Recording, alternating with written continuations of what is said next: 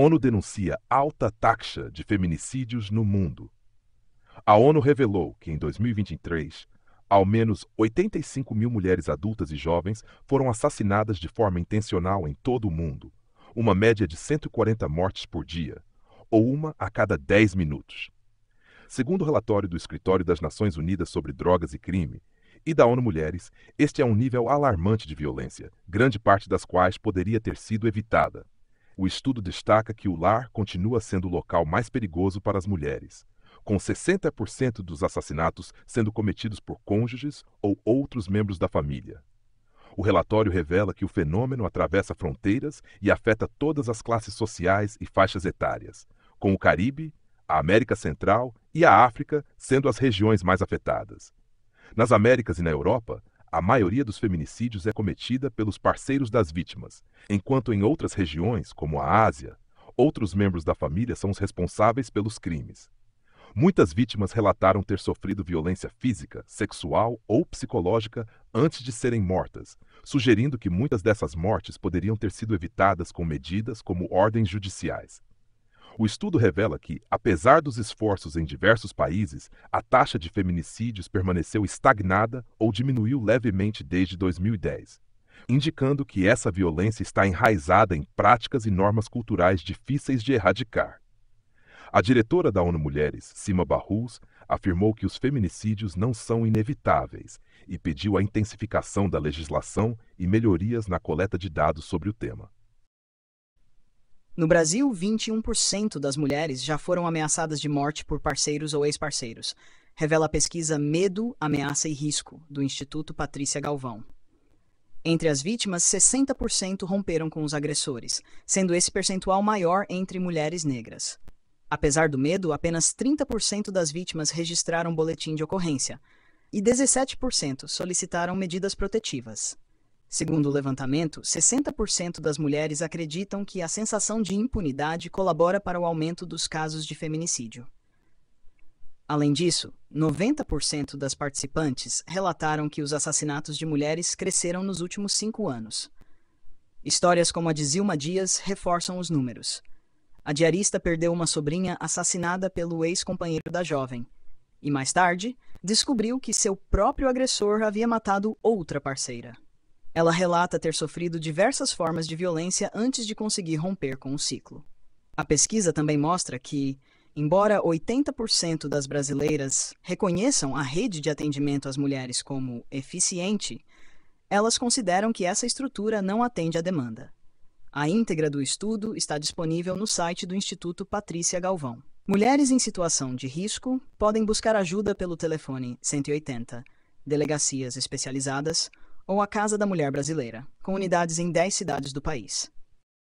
A primeira parcela do 13º salário deve ser paga até sexta-feira, dia 29 de novembro. A segunda parcela será depositada entre o dia 1 e o dia 20 de dezembro, conforme estabelece a legislação trabalhista. O pagamento do 13º salário movimentará, em 2024, 321 bilhões e 400 milhões de reais na economia, de acordo com o Departamento Intersindical de Estatística e Estudos Socioeconômicos. A média paga a cada trabalhador será de R$ 3.096,78. O benefício é destinado a trabalhadores com carteira assinada, aposentados e pensionistas. Para os empregados, o direito é garantido após 15 dias de trabalho no mês, com o valor sendo calculado de forma proporcional caso o trabalhador não complete os 12 meses na mesma empresa. Trabalhadores afastados por licença maternidade, acidente ou doença também têm direito ao benefício, e as demissões sem justa causa asseguram o pagamento proporcional. A primeira parcela do 13º é livre de descontos, enquanto a segunda pode sofrer tributação de imposto de renda, INSS e Fundo de Garantia do Tempo de Serviço. Aposentados e pensionistas do INSS já receberam a antecipação do benefício entre abril e junho deste ano. O cálculo do 13º considera como mês completo qualquer período superior a 15 dias de trabalho, conforme a Lei 4090 de 1962. Faltas não justificadas por mais de 15 dias podem reduzir o valor do benefício.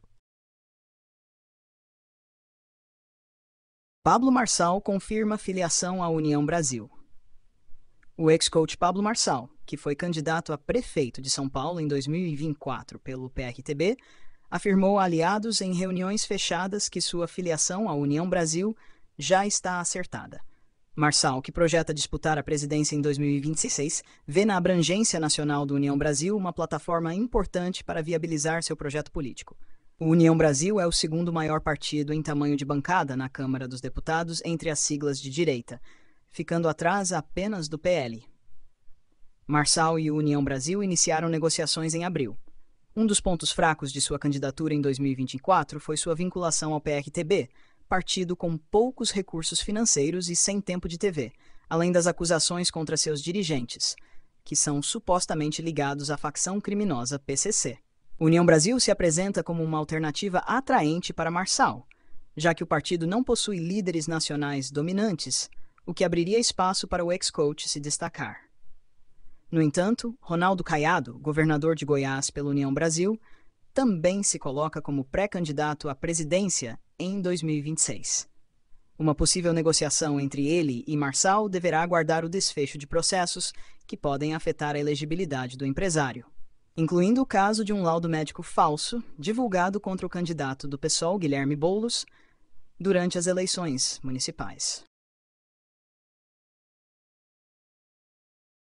Acidente com ônibus na Serra da Barriga deixa 17 mortos e 29 feridos. Um acidente envolvendo um ônibus que transportava moradores da Serra da Barriga em União dos Palmares, Alagoas, resultou em 17 mortos e 29 feridos, incluindo crianças e adolescentes. O veículo capotou e caiu em uma ribanceira na tarde desse domingo, dia 24 de novembro. Segundo o Serviço de Atendimento Móvel de Urgência, SAMU, 16 pessoas morreram no local enquanto uma gestante foi levada ao Hospital Regional da Mata, mas também não resistiu aos ferimentos. O governador de Alagoas, Paulo Dantas, lamentou a tragédia e decretou luto oficial de três dias. Em nota, ele afirmou: Recebi com extrema tristeza a notícia da tragédia ocorrida em União dos Palmares, que tirou vidas e deixou muitas pessoas feridas o governador determinou mobilização total do Estado, com apoio do Corpo de Bombeiros, SAMU e equipes de saúde para atender as vítimas. Em razão do acidente, a Secretaria de Educação de Alagoas suspendeu as aulas nas escolas estaduais de União dos Palmares nesta segunda-feira, dia 25 de novembro. A Polícia Civil de Alagoas abriu inquérito para investigar as causas do acidente. A Delegacia Regional de União dos Palmares está conduzindo o caso com o apoio da Polícia Científica, que iniciou uma força-tarefa para identificar e liberar os corpos das vítimas.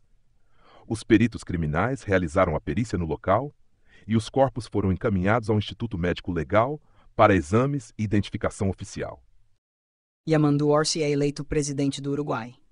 Yamandu Orsi foi eleito presidente do Uruguai, marcando o retorno da Frente Ampla ao poder após cinco anos de governo da centro-direita.